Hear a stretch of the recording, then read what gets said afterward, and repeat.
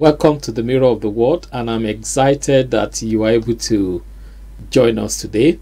My name is Bukky Adeosun, and I'm your regular host on this program. Before we start, I'd like us to pray. Father, in the name of Jesus, we thank you for another opportunity to look into your word tonight. Lord Jesus, we want to see you in your word. We want you to show us what you want us to see in your words today, not what we want to see. Your will, Lord, not our will. Lord, I ask that whatever you show us in your word today, as you show us the personality of God, who God is, I ask that whatever we see will be written in our heart so that we can increase in the knowledge of you and in the knowledge of God. And I ask by the power of the Holy Spirit that our lives will be transformed into whatever we see in God's word today. In Jesus' name we have prayed. Amen and amen. Praise the Lord. Uh, once again, I welcome you. We are studying starting a new book today, the book of Hebrews. Uh, we have finished reading the book of Matthew. What an amazing an amazing book um, in the Bible. So I want to encourage you to go on our YouTube channel and watch all the videos that we did on the book of Matthew. There's no way I will be able to do a recap with regards to uh, the book of Matthew because I got quite a lot to cover today. Uh, this book that we are about to read today, in order for you to understand it, I want to recommend uh, that you should go and watch the series that we did on the tabernacle. Uh, we started, we did a video series from the book of Exodus, chapter 19, right to the end. And uh, the Lord prompted us to read that. You know, when I came across, I came across a particular verse there where uh, Moses said, uh, "If your presence not go with us, then we will not go." And uh, you know, I was just curious, and the Lord said, "You really want to know? Then go and read the story." And then from there, uh, the Lord led us to do a study on the tabernacle. So, the book that we are about to start today, I will try as much as possible to be able to paint the picture. Uh, but the truth is, if you don't understand uh, uh, the Levitical orders, if you don't understand the ministry of the priest under the Old Testament, you don't understand the tabernacle. Uh, you don't understand what it stands for and what the priests were supposed to do in it uh, it's going to be difficult for you to be able to understand the book of the Hebrews. But hey, uh, there's nothing to worry about because I believe that the Holy Spirit will open our eyes to see what God wants us to see, you know, as we read this book. One thing that I must say to you is that I want you to have a new mindset. You know, it's something that as I was preparing for this uh, uh this video, uh, the Lord ministered to me that every time we read the scripture now, we need to begin to read with a mindset to see Jesus. We need to begin to read to see the person of Jesus in the scripture. You know, because the whole Bible, I'm telling you the truth, the whole Bible is about Jesus, you know, right from the book of Genesis right to the uh, the book of Revelation. So, and we're going to see that today. So, I want to invite you, let's read the first chapter uh, of the book of Hebrews. And um, I want you to do me a favor. Please get your Bibles because we're going to be reading it together. Uh, what I use the word Bibles because I expect you, if you have been following following us on this video, I expect you to be reading more than one translation of the Bible because uh, we we don't want to be baby Christians. Uh, we want to be people who want to receive the fullness of what the Lord has for us. So uh, we're going to be reading the book of Hebrews, chapter 1, and uh, today I am going to be reading from the King James Version of the Bible. God, who at sundry times and in diverse manner spoke to us in time past unto the fathers by the prophets, has in this last day spoken to us by his Son, whom he had appointed heir of all things by whom also he made the worlds, who being the brightness of his glory and the express image of his person, and upholding all things by the word of his power. When he had by himself purged our sin, sat down on the right hand of the majesty on high, being made so much better than the angels, as he had, had by inheritance obtained a more excellent name than they. For unto which of the angels said he at any time, Thou art my son, this day have I begotten thee. And again I will be to him a father, and he shall be to me a son. And again, when he bring in the first begotten into the world, he said, And let all the angels of God worship him. And of the angels, he said, Who make his angels spirit, and his ministers a flame of fire. But unto the Son he said, Thy throne, O God, is forever and ever. A scepter of righteousness is the scepter of thy kingdom. Thou lovest righteousness and hated iniquity. Therefore, God, even thy God, had anointed thee with the oil of gladness above thy fellow. And thou, Lord, in the beginning, hast laid the foundation of the earth, and the heavens are the works of thy hands. They shall perish, but thou remainest, and they all shall wax old, wax old as doth a garment. And as a vessel shalt thou fold them up, and they shall be changed. But thou art the same, thy years shall not fail. Wow. But to which of the angels said he at any time, Sit on my right hand until I make thy enemies thy footstool? Are they not all ministering spirit, sent forth to minister for them who shall be heirs of salvation? Now, um, I, I want to keep to my note. I just pray that the Spirit of God will help me today.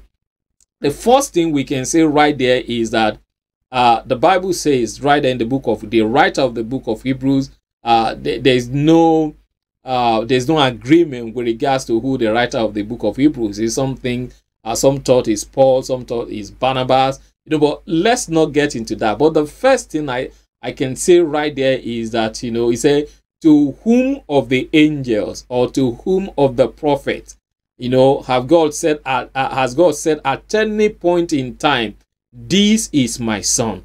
And that's the main thing as far as the uh, christianity our faith you know that's the main thing. Uh, the reason why all other people are quarreling and they are fighting you know I, I, I know a little bit uh, about the, the Quran. You know, the main contention is you know god has no son you know. That's that's the main contention you know. And that's the truth. We shouldn't argue with anyone that say god has no son because they don't understand.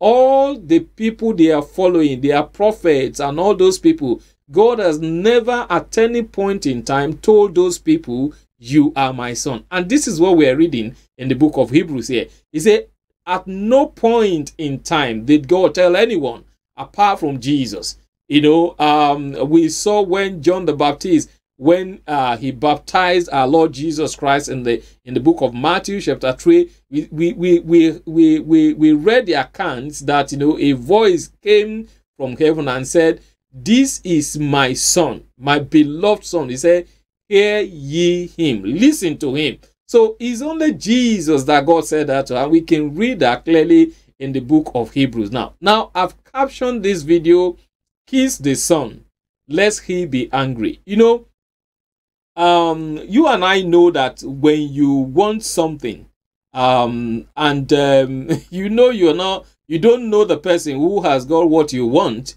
uh, but you know somebody who knows the person who has what you want, then you have to be good friends to that person. You know you have to because you know that if you know somebody who's got the ears of the king then you have to be friend to that particular person so it's important for us because jesus has got the ears of god you know we're going to see later on because he's the only one sitting at the right hand of god now the reason i'm coming to us this way is that um, we we try to when it comes to christianity people think what Christianity about about is about miracles. To be honest with you, and I'm going to tell you the truth. Um, you you don't need to come to church. You don't need to believe Jesus to to get a miracle. Are you are you listening to me? You know, um, my forefathers, you know, uh, they they they worship idols, you know, into into all these kind of occultic things, and you know they can do wonders. So, for example, uh, there are people who they call rainmakers, you know. so I'm telling you the truth, they can call rain on you. Uh, you have to in some certain communities if you got a so if you have a social function. I mean, some people who understand who are watching this video, please, if you have had the story of your witness, tell me they will have to go and pay them homage. We want to do a social activity. Please, can you help us shut up the heaven so that it's not going to rain? You know, people can. You, what about the magicians? So, uh, Christianity is not about miracle, and the right time we get that, you know, the better for love of for, all of us. Christianity is about knowing Jesus. Uh, Jesus said, "I came to give them eternal life." And what's eternal life? Eternal life is that they know Him, that they know God and His Son. So Christianity is about knowing Jesus. Without knowing Jesus, you can't know God. Without knowing the person of Jesus, you won't know God. You can't get close to God. Uh, if you live in the environment where I live, you know why why should you believe God for money? They've got their life plans. You know there's the mortgage system there for you. You can get a mortgage. You know the houses are there. You don't. You, there's no encouragement for you to believe God for a miracle. If you understand, the only time they remember that there is God is when they get to the hospital. I mean, the hospital is free. You have the best of the treatment. It, the only time they think about God is look when they get to the hospital and then they say doctors say okay we give you three months to pray uh, three months to live that's when people begin to pray and then they say things like as he come to prayer as he come to prayer but Christianity is about you knowing the person of Jesus. So the Bible is the story of Jesus. We must read the Bible to see Jesus. I'll say that again. We must read the Bible to see Jesus. Every time from the book of Genesis you know, we need to read the Bible with the mindset to see Jesus. We need to begin to read the Bible in a different way to begin. Okay, now I understand. So this is the meaning of this. You know, we we we read in Luke chapter 24 after Jesus Christ rose from the dead and he met some people and he was walking together with them and they were concerned. He said, Jesus Christ of Nazareth, we thought he was going to be king, you know, and they killed him, and Jesus was angry with them.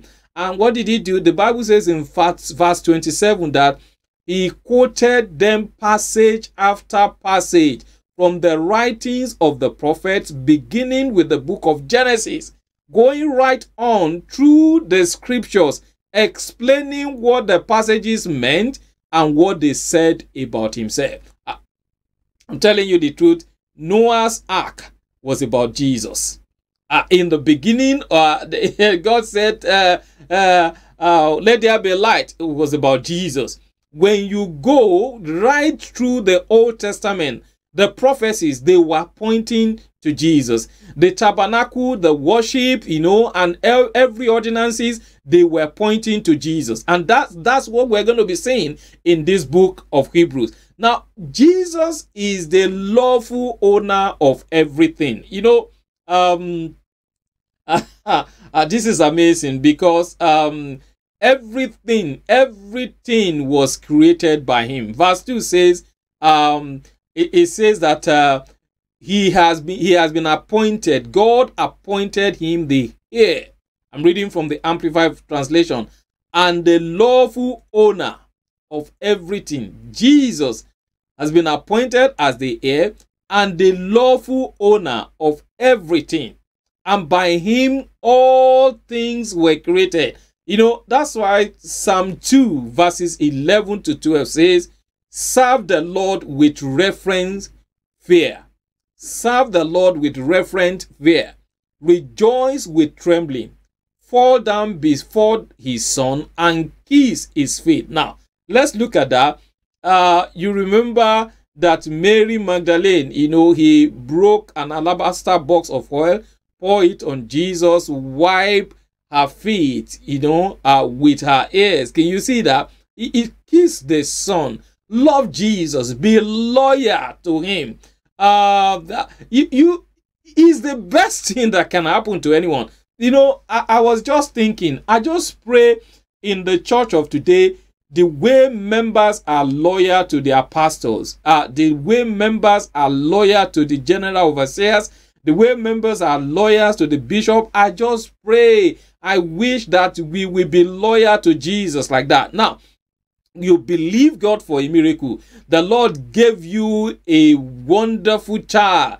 The way you are committed to keeping that child, to raising that child, I I just wish that you will be committed to Jesus like that. You know, uh, so some of us we can travel miles to go to work. Uh, some of us we are more than happy to do extra hours. You know, your boss is not even asking you if you can do an overtime, but you just want to do it so that you can tell your boss, you want to show to your boss that, look, I respect you, I love you, I value you. Look, the best person you can demonstrate your loyalty to is Jesus. And and I'm going to tell you it's simple. The, the reason for that is simple.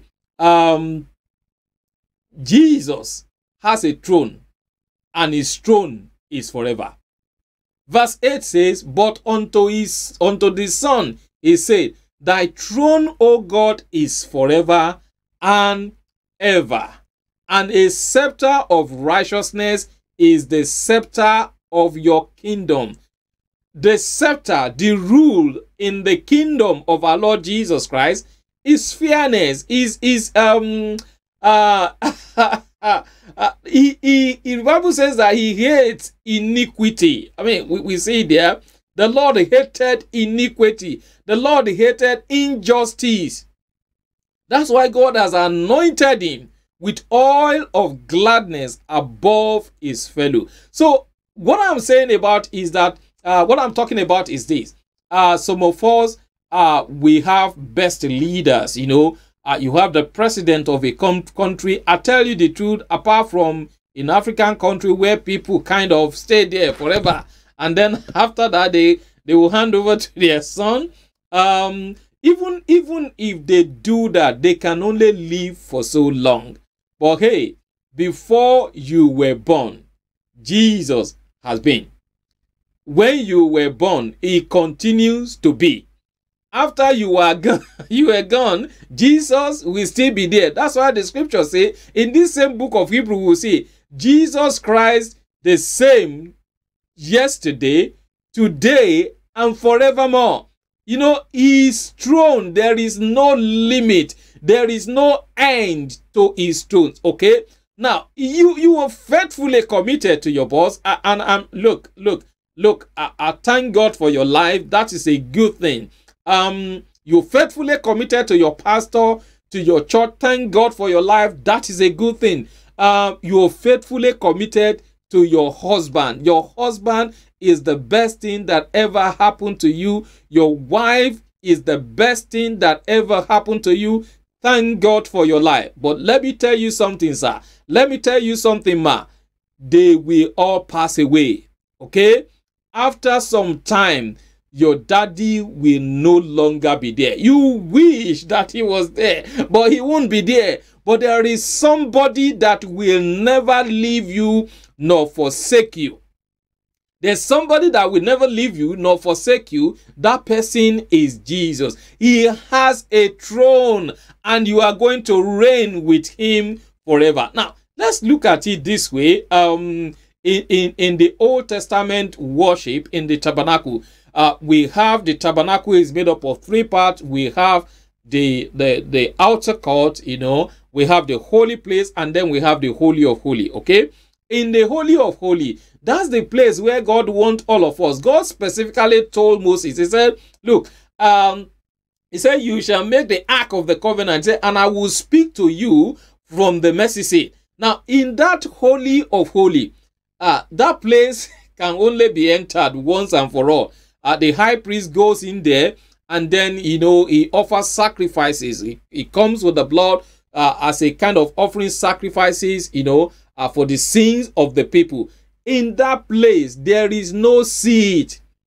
When Jesus Christ entered into the Holy of Holy in heaven, you know, because uh, uh, uh, the Old Testament is a type and shadow of the New Testament. When Jesus entered into that place, you know, um, the, the, the, the blood in the Old Testament, every time you sin, uh, you know, kind of uh, the, uh, some church folks nowadays, they behave, behave like the Old Testament, you know, um, after, after, after they believe God for something and then we get what we want, we have to beg them to come to church again I thank God for your life because you are you are not one of those people. You understand what I'm saying?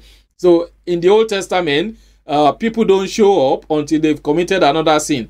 They don't show up until they need mercy. They don't show up until they, they, they need some favor. They will come with their animals as a sacrifice and then they will present it to the high priest. Please, can you go and help me talk to God? But in the New Testament, there is no need for you to do that. You can go to God directly. So what Jesus Christ did was when he enters the Holy of Holy, the Lord gave him a seat. Oh, glory be to God.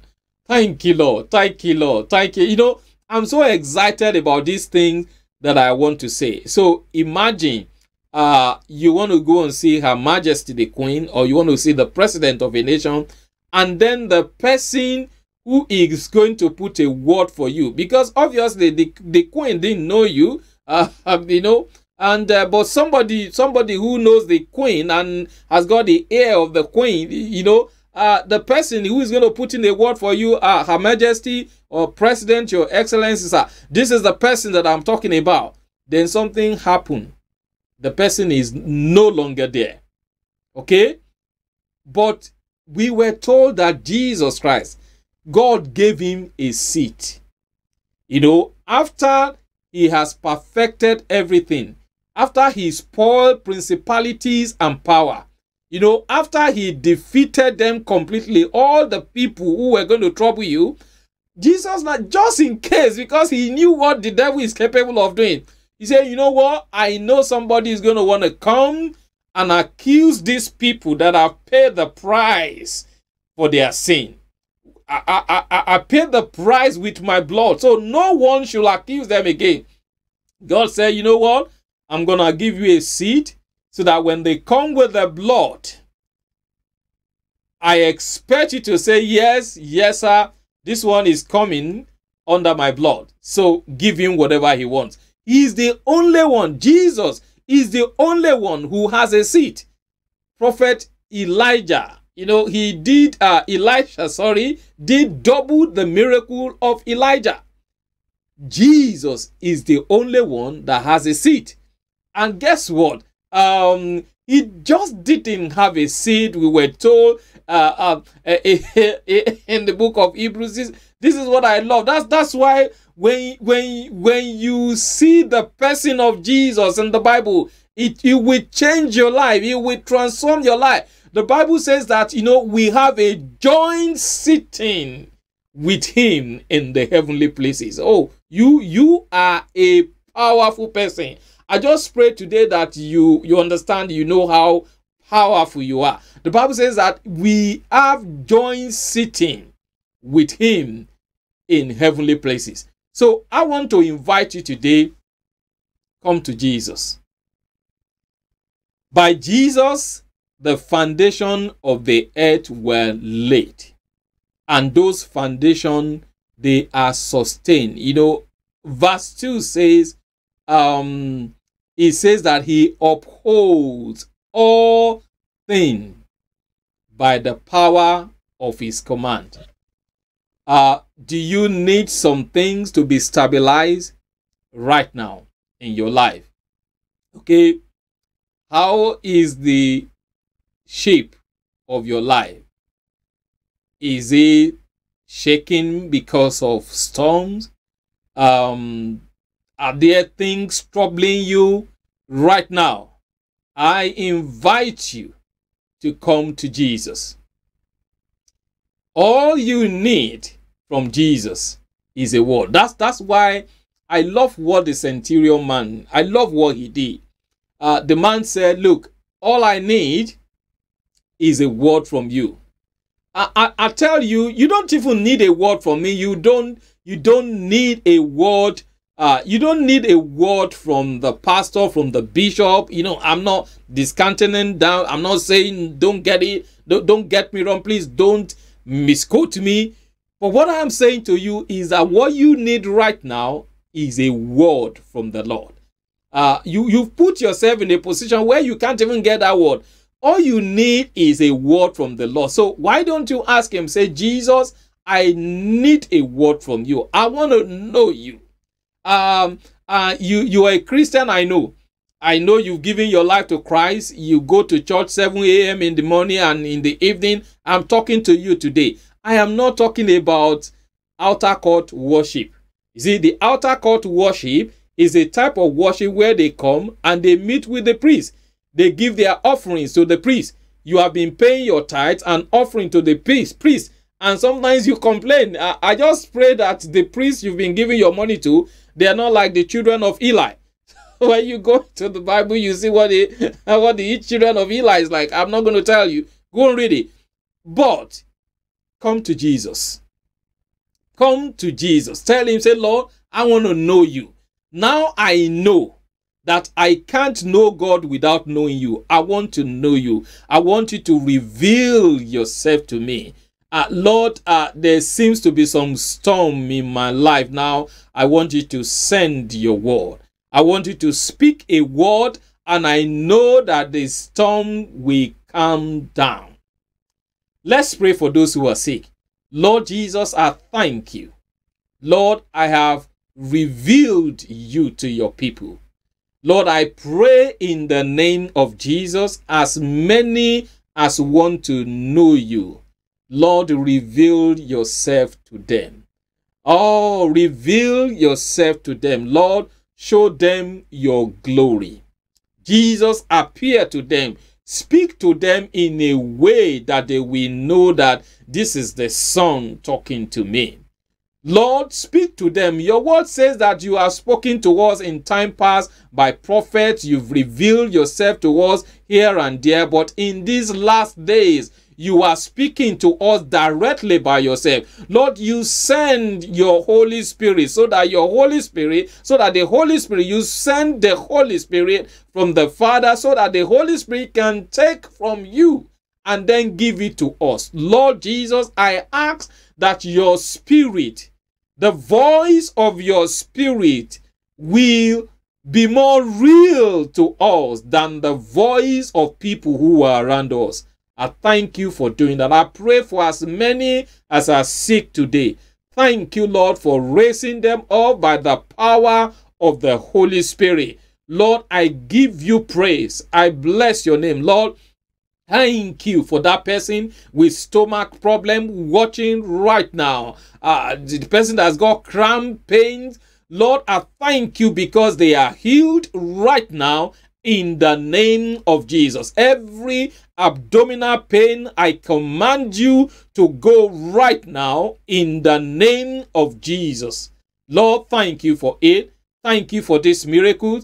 Glory be to your name. In Jesus' name, we have prayed. Amen and amen. I, I want to invite you, if you don't know Jesus Christ as your Lord and Savior, that's where the journey starts from.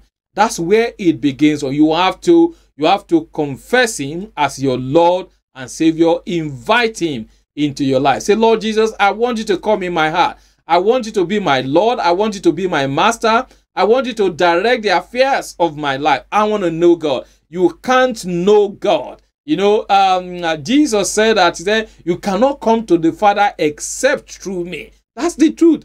Because he is the one that the Father has appointed as the heir. So if you are going to get anything from the Father, you have to get it from Jesus. You have to get it from Jesus. That's what the Bible says. So I want to invite you. You know, you know the uh, we, we we we said the Bible says that he is the Prince of Peace. Said, "My peace I give to you."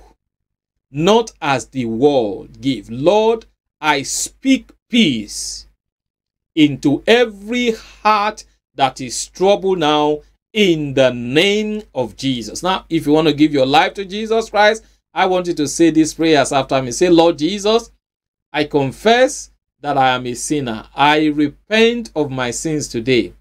I believe you died for me so I can have eternal life. I ask you to come into my heart, be my Lord and Savior in Jesus' name.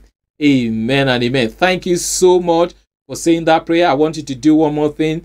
I want you to get in touch with me. I'm going to send you some materials that is going to help you grow spiritually. Um, addresses are going to be on the screen shortly. Get in touch with us.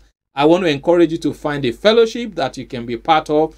Uh, tell them, just walk into any church and tell them, I've given my life to Jesus Christ and I need all the support I can get from you. From you, I bet you they will be more than happy to support you. If you want to be part of our fellowship, you are encouraged to be part of our fellowship.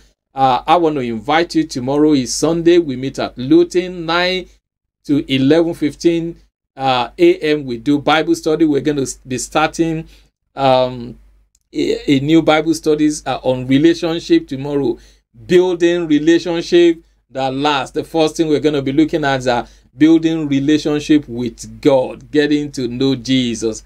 Uh, that's amazing. If you can make it, uh, join us for our Bible study every Friday. is online 9 to 10, and then we do prayer meeting on Tuesday. May God Himself, the God who makes everything holy and whole, make you holy and whole, keep you together, put you together, and keep you together, spirit, soul, and body, and keep you fit for the coming of our Master Jesus Christ.